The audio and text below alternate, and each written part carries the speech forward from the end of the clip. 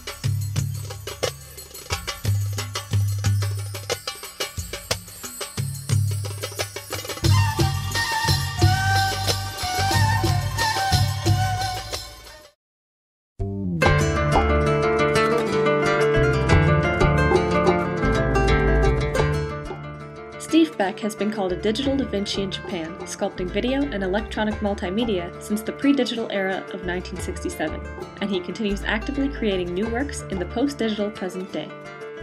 Beck has innovated art and technology in various fields of expression video sculpture, installation, music, performance, and music video. Beck's video art has been exhibited by and is in collections of major art museums worldwide, including the Pompidou, the Hirshhorn, the Getty, the Tate Modern, and the Museum of Modern Art, New York. In addition, Beck has been honored with commissions, for example by the Korean government for the Kwangju Biennale and by Prince Tomohito of Mikasa, Japan at Artec Nagoya.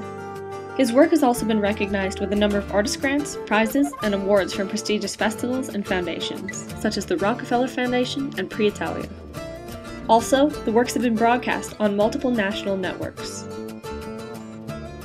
As an artistic entrepreneur without borders or limits, Stephen Beck creates and manipulates color, form, texture, and movement to make completely new and unique creations. Beck's most recent work, Noor, combines technology, art, and mathematics to create a bridge between Western, Middle Eastern, Asian, and world cultures. Noor is also a continuous investigation of spiritual technology and art. It's a fusion of traditional designs with modern video technology. Ultimately, the goal of Noor is to bring a greater understanding and appreciation of our cultural commonalities, and reveal the shared values of truth and beauty.